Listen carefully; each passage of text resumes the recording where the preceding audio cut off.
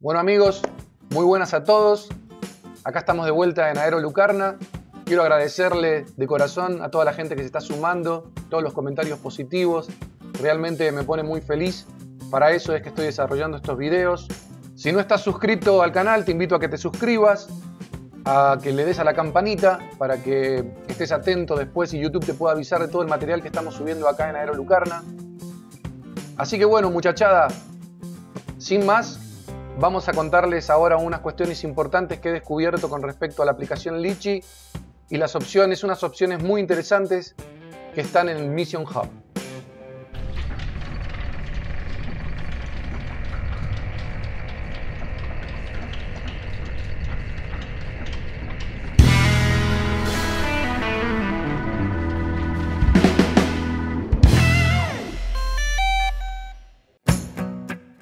Bueno, acá estamos en Litchi de vuelta. Para acceder a Mission Hub tenemos que ir acá, que es la tercera opción. Dice Mission Hub. Y como la vez pasada, ya estamos en condiciones de empezar a hacer una misión. Vamos a ir a la cruz, virtualmente. Esta vez lo vamos a hacer de manera virtual. Y vamos a hacer acá una misión sencilla como para explicarles esto que les estoy diciendo. Vamos a poner, acá está la cruz, vamos a poner un waypoint acá, vamos a poner un waypoint acá, un waypoint acá, después vamos a poner un waypoint acá y después vamos a poner, mejor de acá vamos a venir directamente acá. Sencilla esta, esta misión. Bueno, lo que les quería contar, vamos a sacar esto, es esta, esta acá, ¿ven? Que dice sobre el suelo, vamos a traducir para que lo puedan ver, dice por encima del suelo.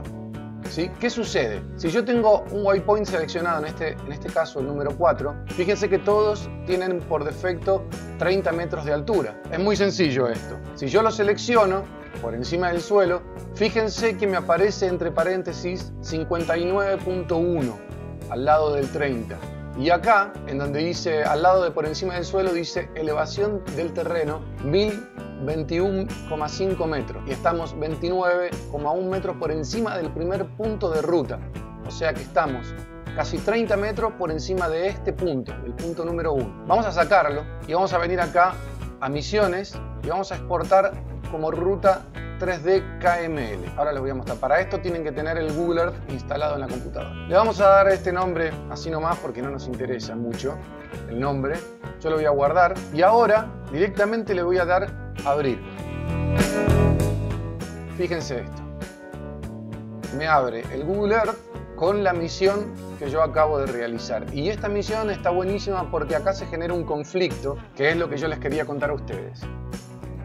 Fíjense, nosotros estamos acá, el punto de inicio es este, y estamos 30 metros por encima de este punto. Entonces, cuando nosotros iniciamos la misión, el dron va a venir por acá, va a hacer todo este recorrido y antes de llegar al punto final, fíjense que como esta loma es más alta que esta, en teoría chocaría, o sea, tiene sensores anticolisión por lo que seguramente el dron se va a detener. Yo soy muy cuidadoso con ese tipo de cosas. Pero fíjense que acá se pierde la línea amarilla y el punto final está acá. Eso quiere decir que habría un conflicto en esta parte. Entonces, lo que yo le quería contar es, volvemos acá y tenemos estas posibilidades. Podemos ir marcando de a uno en uno, es decir, si tocamos el punto podemos ir marcando por encima del suelo, el otro punto, por encima del suelo y así con todos los, los waypoints. Pero si son muchos en una misión se hace complicado, por lo que es muchísimo más fácil. Vamos a sacar esto, vamos a destildar, vamos a volver al número 1, vamos a destildar. Si fueran muchos wine lo más sencillo es, seleccionamos uno, apretamos la tecla control o comando, seleccionamos el segundo y fíjense que acá abajo nos aparecen varias opciones. Ponemos esta que dice selecciona y fíjense que se seleccionaron todos. Ahora venimos a seleccionar por encima del suelo, le ponemos aplicar y fíjense que ya le aplicó por encima del suelo a todos los puntos. El primer punto está a 30 metros del punto de suelo de esta parte. El segundo punto está más abajo, por lo que va a estar a 30 metros con respecto al punto de suelo de acá. El tercer punto está 20 metros más abajo, por lo que va a estar a 30 metros por el nivel del suelo de esta parte. Y fíjense que el tercero está a 30 metros de este punto y se elevó bastante a 59,1 metros. Ahora esto se los voy a mostrar en, en la práctica. Acá vamos a exportar esto de vuelta como ruta 3D KML. Vamos a guardarlo y le vamos a poner que lo abra en el Google Earth. Ahí está. Acá tenemos la ruta del principio que tenía conflicto en esta parte. Vamos a ponerlo así para que se vea mejor.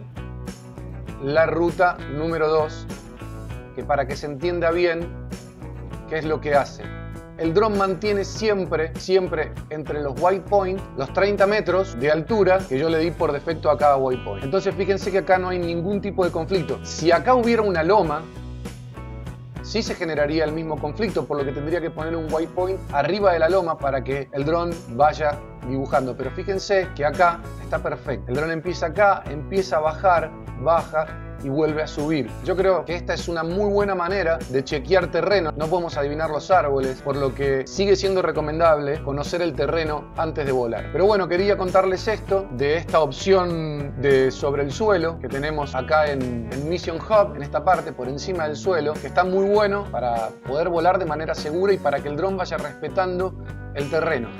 Así que bueno amigos, espero que esto sea de ayuda que lo apliquen en la práctica y que me vayan contando qué les parece, que me vayan contando sus experiencias. Recuerden que también pueden colaborar diciéndome qué les gustaría que yo desarrolle en los videos.